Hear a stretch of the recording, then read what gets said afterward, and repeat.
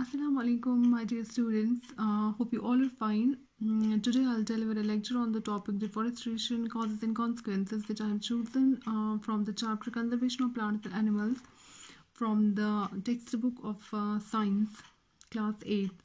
Uh, so first of all, I'll define uh, conservation as conservation uh, can be defined as process of keeping and protecting anything from damage.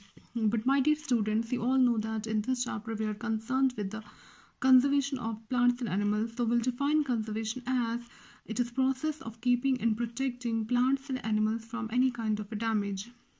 Here a question arises that what kind of damage are the plants and animals suffering from or what kind of damage are they facing? So the main damage which the plants and animals are facing is deforestation. So the next one is deforestation. I'll define deforestation as cutting of trees on a very large scale or clearing of forests over a wide area. Mm, fine, cutting of trees on a very large scale, or in other words, we can say it is the ruthless cutting down of the trees. Um, and uh, we all know that deforestation has many causes. So I'll explain to you the causes of the deforestation. Uh, if we explain the causes of deforestation, they are broadly categorized in two categories. One is man-made and one is natural. Coming to the man-made causes of the deforestation, the first one is obtaining fuel uh, or firewood. The first cause of the deforestation is obtaining fuel or firewood. My dear students, we all know that many of the people they are living in the remote areas which do not have access to the electricity or to the LPG or to the um, new sources of uh, uh, um, new sources um, for uh, cooking and all. So those people they are dependent on the forests for getting the uh, uh, getting the wood which they use for cooking and for heating purposes.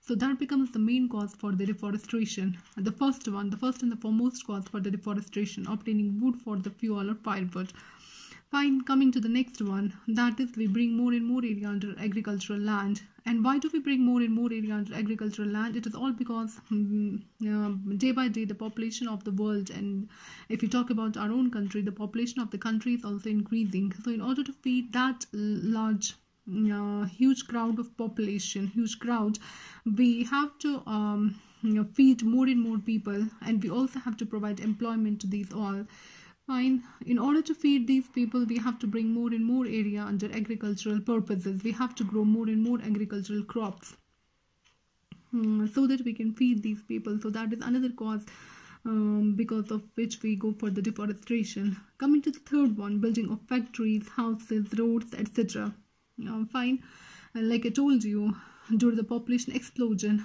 we um, have to provide employment to the people. And for these purposes we have to build the factories. We are building the houses and roads. And because of these uh, purposes also we are clearing out the forest area. We are doing the deforestation. So and uh, the last one that is obtaining wood for making doors windows and furniture. Mm, which is the main, which is also one of the main causes of the deforestation. We cut down the trees on a very large scale we clear out the forest area in order to get the wood for making doors for making windows for making furniture which we use in our houses which we use in the factories which we use in the industries uh, which we are constructing. And the next one category which is the natural causes of the deforestation and that is the forest fires and the severe drought. These two are also the main causes for the deforest natural causes of the deforestation so i hope this um, the causes of the deforestation both the man-made and the natural that got clear to you. Coming to the next one the consequences of the deforestation.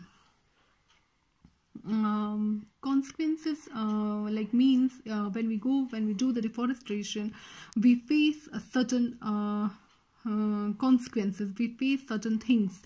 Um, um, uh, in other words we can say the disadvantages uh, what we face when we go for the deforestation. The first one consequence of the deforestation is that it will result in the shortage of the wood and the products which we get from the trees. Uh, dear students, we all know that, um, like I told you, we get uh, we make um, doors, furniture, windows from the um, wood we get from the trees, which we get from um, the forests when we go uh, when we uh, clear out the very large area. But when um, the deforestation is done on a very large scale uh, we all should know that we will face shortage of all these products we will face shortage of the wood. Besides facing the shortage of the wood we will face the shortage of the materials of the substances which we get from the trees and which are very much important to us. Like some of the common examples i'll give you is gum is resin is wax and paper and the very important thing which we get from the trees. And the second one consequence of the deforestation is it will result in the increase in the temperature of the earth's atmosphere leading to global warming. Uh, fine. So uh, my dear students let me first tell you that we do have um, air is a mixture of the gases and carbon dioxide is one of the gas besides other gases which is present in the air. And the function and the role of the carbon dioxide in the atmosphere is this that it prevents some of the solar radiations to get reflected from back by the earth thereby warming up the temperature of the earth. But uh, and on the other hand uh, we all know that carbon dioxide in the atmosphere is uh, present when we exhale it out by the process of the respiration and the carbon dioxide which is present in this atmosphere which is exhaled by us is used up by the green plants for the process of photosynthesis.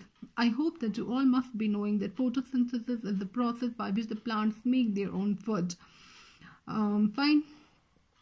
So this carbon dioxide is taken by those plants but when we cut down the trees uh, nobody is left no trees are left to take this carbon dioxide. That means the concentration of carbon dioxide in the atmosphere is increased. And increase in the carbon dioxide concentration means it will trap more solar radiations thereby causing the greenhouse effect. Fine and greenhouse effect ultimately results in the global warming. And what is the global warming? That means increase in the overall temperature of the earth. When the overall temperature of the earth increases or when the global warming happens. But um, uh, what is the consequence of that? That results in the melting of the polar ice thereby causing floods in the low-lying coastal areas. Hope the second point is also clear to you. Coming to the next one which is it will result in the uh, soil erosion leading to the desertification.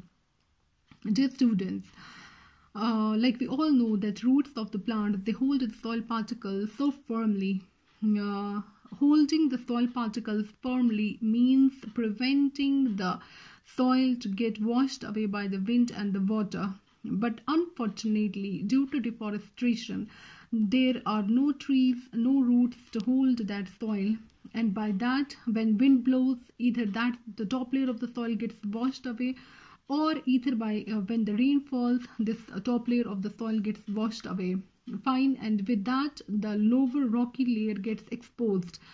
Exposure of that rocky layer which is not fit for the cultivation that process is called as desertification. The washing away of the above um, fertile layer of the soil thereby exposing the rocky layer which is not fit for the cultivation is called as desertification that process is called as desertification. Fine? Because uh, why do we say the top layer of the soil is very much uh, fertile and it results in the and it also uh, helps in the um, uh, growing of the mm, crops? Because we all know the top layer of the soil uh, it, it, it, it, it is fertile because it contains the minerals it contains a lot of humus humus content. Uh, fine. So coming to the fourth one which is uh, will cause um, the deforestation will also result in the frequent flooding. How the deforestation results in the frequent flooding is this uh, since roots of the trees they help in absorbing the rainwater. When the rain falls it is absorbed by the trees by the roots which help it to percolate down and uh, uh, as the groundwater thereby reducing the amount of the rainwater reaching to the rivers. And when there are no trees left because of the deforestation the rain falls that whole of the water is returned to the rivers, thereby increasing the level of water and leading to the floods. And last but not least, deforestation leads to the extinction of many wild animals and plants. My dear students, um, this point is the last point but not exactly the least because this is the very much very important consequence of the deforestation. When we cut down the trees on a very large scale when we clear out the uh, large area of uh, um, forests what we do? The natural the wild animals which are found naturally in these uh, natural forests they, lo- they lost their habitat and they come to the urban areas thereby falling prey in the hands of people thereby falling prey in the hands of man or either killing the people. And due to this deforestation many wild plants which are very much important um, uh, which are very much uh, necessary um, uh, to maintain the ecological balance or for the or the medicinal plants they also get um, lost Mm, and the um, birds which are found in these forests they do not get food because of the uh, deforestation. They mm, face the starvation and thereby become extinct. Uh, fine uh, so this is all about the deforestation its causes and consequences. Hope um, mm, you all will get it properly. uh, Uh, many thanks